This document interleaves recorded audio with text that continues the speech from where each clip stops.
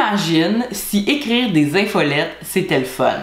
C'est vrai, là. Chaque semaine ou chaque deux semaines, tu dois t'asseoir et réfléchir à ce que tu vas écrire. C'est long, c'est plate, puis ça te demande beaucoup d'énergie. En plus, tu sais jamais quel objet de courriel va vraiment fonctionner. Ce que ça te prendrait, ça serait d'avoir un calendrier de sujets planifié pour toute ton année. Comme ça, plus besoin de se poser la question à chaque semaine. Mais c'est long planifier un calendrier de contenu et de sujets pour une année complète. Donc, je l'ai fait pour toi.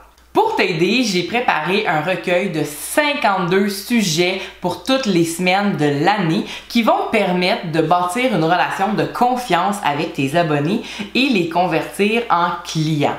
Et pour te faire gagner encore plus de temps, j'ai même rédigé pour toi les 52 objets de courriel qui vont avec ces sujets-là. Comme c'est souvent l'objet de courriel qui détermine si ton abonné va ouvrir ou non ton courriel, tu vas également trouver une section qui t'apprend comment rédiger un bon objet par toi-même et aussi une banque de 40 objets gabarits à modifier selon tes besoins.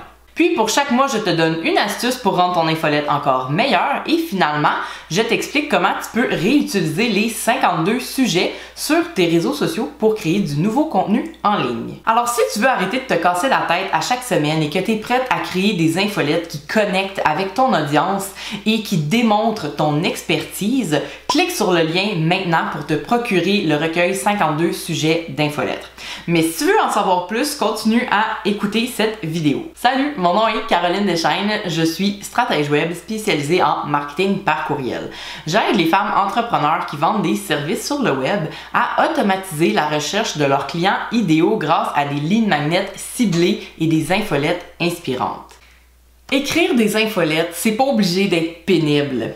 Quand tu t'inscris aux infolettes de d'autres petites entreprises, ça donne l'air facile. Ils t'écrivent à chaque semaine, puis à chaque fois, tu trouves que le contenu est intéressant. Je suis certaine que tu es capable de penser à deux ou trois entrepreneurs ou entrepreneuses dont tu lis toutes les infolettres. Pourquoi? Mais juste parce que t'aimes les lire, t'aimes le contenu, tu trouves ça intéressant. Puis tu sais pourquoi? Parce que ces gens-là ont su te parler de d'autres choses que de leurs services et de leurs produits. Ils ont réussi à créer une connexion avec toi qui fait en sorte que c'est pas l'infolette que tu veux lire, mais le texte de cette personne-là en particulier. Petite nouvelle, l'infolette, c'est pas fait pour vendre à des gens avec qui tu ne parles jamais. L'infolettre, c'est pas non plus une banque de données de clients potentiels à qui t'envoie de la promotion parce que tu fais un lancement ou parce que tu veux augmenter tes ventes ce mois-ci. Non, c'est pas ça. L'infolette, ça sert à créer une relation avec des personnes que tu ne connais pas, mais que tu sais que tu peux aider avec tes services et tes produits. En prenant le temps de jaser avec tes abonnés, de les conseiller, de leur répondre quand ils t'écrivent, de parler de toi, de parler de ton entreprise, tu bâtis une relation de confiance. Une infolettre, c'est une lettre. Puis une lettre, ben, c'est personnel. Donc, c'est comme si ton abonné, c'était ton pen pal, ton correspondant. Mais un correspondant qui a besoin de ton aide et euh, de ton appui. Ce qui fait que cette personne-là, elle veut te connaître au-delà de ton service. Elle veut savoir si elle se sent bien avec toi. Elle veut savoir si tu résonnes avec elle.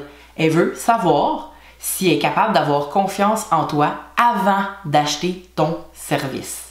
Parmi les 52 sujets que je t'ai préparés, tu vas découvrir des sujets pensés pour établir la confiance, créer une relation humaine avec tes abonnés, mais aussi des sujets qui vont te permettre de partager tes connaissances pour démontrer ton expertise et aussi accroître ta crédibilité aux yeux de tes abonnés.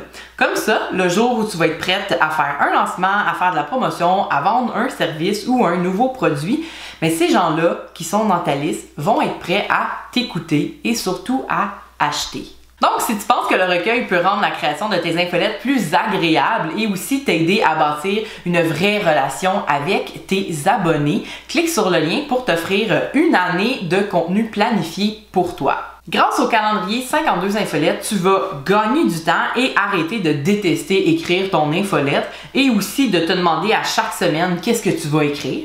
Tu vas aussi bâtir une relation authentique et solide avec tes abonnés. Tu vas contacter ton audience de manière constante et avec confiance. Tu vas envoyer des courriels pertinents et intentionnels qui vont capter l'attention dès l'objet et tu vas convertir tes abonnés en clients facilement quand va être venu le temps de vendre tes services. Je suis convaincue que le recueil 52 infolettes va t'aider à créer des infolettes pas plates qui vont connecter avec ton audience et démontrer ton expertise. Sans compter que tu peux réutiliser tous les sujets pour créer du nouveau contenu sur tes réseaux sociaux. En chiffres, le recueil, c'est 52 sujets d'infolettres et 52 objets captivants prédéfinis pour tous ces sujets-là. Et aussi 40 objets gabarits supplémentaires à modifier selon tes besoins.